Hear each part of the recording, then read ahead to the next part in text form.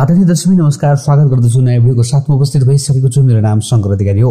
प्रत्येक दिन नयाँ भिडियोको साथमा आउने क्रममा आज पनि मैले एउटा एकदमै राम्रो र सस्तो जग्गा लिएर आएको छु। साथीहरू भिडियो अन्तिमसम्म हेर्नलाई यो जग्गा धनीले खिचेर पठाउनु भएको फोटोको आधारमा र उहाँले पठाउनु भएको विवरणलाई जस्ताको तस्तै मैले राखिरहेको छु। यदि तपाईँ पनि आफ्नो घर जग्गा बेच्न चाहनुहुन्छ भने यसै गरी फोटो अथवा भिडियो खिचेर पठाउनु होला हामीलाई भाइबरमा पठाउनु होला माथि दिएको नम्बर मेरो हो भने तपाईँले पठाएको फोटो र तपाईँले पठाएको विवरणलाई राखेर म यसै गरी भिडियो निर्माण गरिदिनेछु। र यदि तपाईँले थप जानकारी लिन चाहनुहुन्छ भनेदेखि जग्गा धनीलाई नै फोन गर्न सक्नुहुनेछ मलाई जग्गा धनीको सम्पर्क नम्बर एकैछिनमा दिनेछु। साथीहरू तपाईँले थाहा पाइसक्नु भएको छ यो जग्गा मात्र चार लाख रुपियाँ रोपनीमा आएको छ त्यही भएर भिडियो अन्तिमसम्म हेर्नुहोला म सम्पूर्ण जानकारी दिनेछु। साथीहरू दृश्यमा तपाईँले देखिरहनु भएको यही नै जग्गा आजको बिक्रीमा रहेको छ। टोटल बिस रोपनी जग्गामा चाहिँ साथीहरू छ रोपनी जग्गा चाहिँ फास्ट ट्र्याकले लिइसकेको छ भनेदेखि बाँकी रहेको चौध रोपनी चाहिँ अहिले बिक्रीमा रहेको छ। जुन बल्खुबाट चाहिँ मात्र अठार किलोमिटर टाढा रहेको बल्खुबाट अठार किलोमिटर मात्र टाढा रहेको यो मकवानपुर जिल्लामा पर्दछ भने मकवानपुर जिल्लाको भीमफेदी गाउँपालिका वडा नम्बर तिनको इपा पञ्चकन्या भन्ने ठाउँमा चाहिँ यो जग्गा रहेको छ भने बल्खुबाट मात्र अठार किलोमिटर भनेपछि नजिकै रहेको जग्गा हो। साथीहरू यो यो फास्ट ट्र्याकमा मैले भनिहालेँ यो चाहिँ काठमाडौँ निजगढको फास्ट ट्र्याकमा पर्दछ। साथीहरू तपाईँहरूलाई थाहा नै छ यो फास्ट ट्र्याक चाहिँ पचहत्तर फिटको फास्ट ट्र्याक बनिरहेको छ भनेर भन्दै हुनुहुन्थ्यो।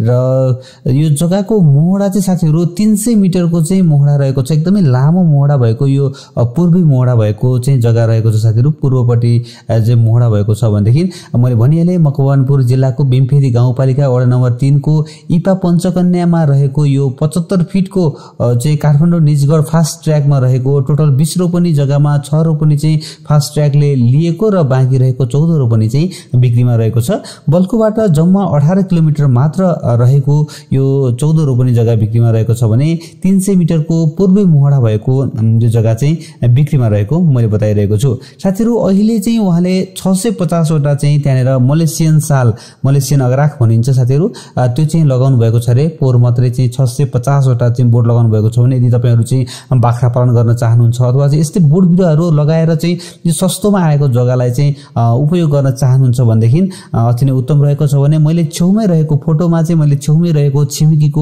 सानो टहरालाई पनि देखाएको छु।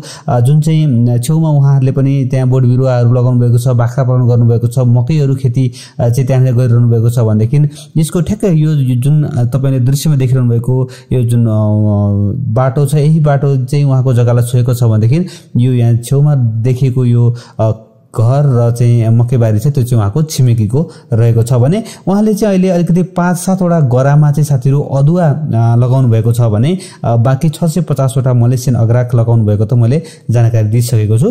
साथीहरू उहाँले चाहिँ उहाँको जग्गामा चाहिँ धारा पनि रहेको छ त्यही भएर पानीको पनि सुविधा रहेको चाहिँ मैले जानकारी गराएँ। तपाईँहरूलाई पानीको पनि सुविधा रहेको छ भने जग्गा चाहिँ साथीहरू सम्म पनि होइन र भिरालो पनि होइन अलिकति गरा गरा टाइपको रहेको छ भन्नुभएको छ। पन्ध्र बिस फिटको चाहिँ गरा रहेका छन्। हलगोरुले पनि जोत्न मिल्ने हो भनेर भन्नुभएको थियो मलाई र चाहिँ यस्तै गरागरा टाइपको चाहिँ जग्गा रहेको छ। र साथीहरू मैले सरल रूपमा चाहिँ फेरि एकचोटि सम्पूर्ण जानकारी दिनेछु र सम्पर्क नम्बर दिनेछु।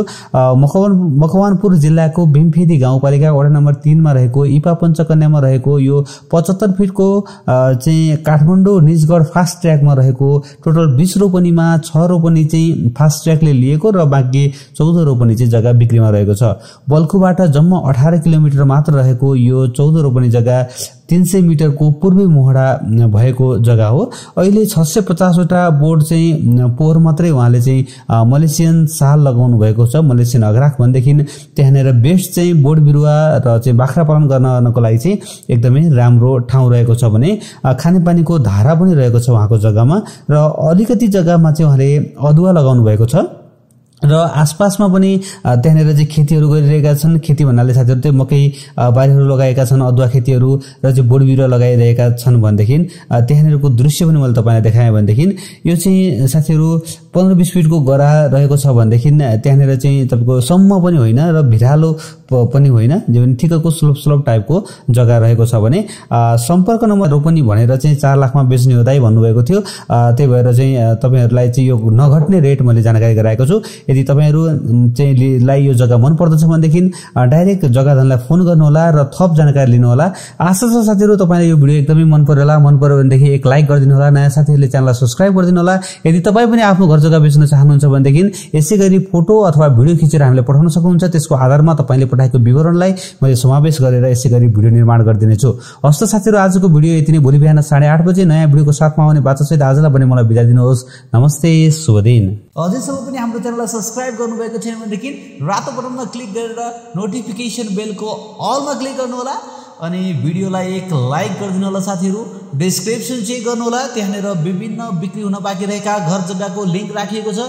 तपाईँलाई मन परेको भिडियोको लिङ्कमा क्लिक गर्नुहोला र यदि तपाईँलाई यो जग्गा मन पऱ्यो भनेदेखि खरिद गर्नुहोला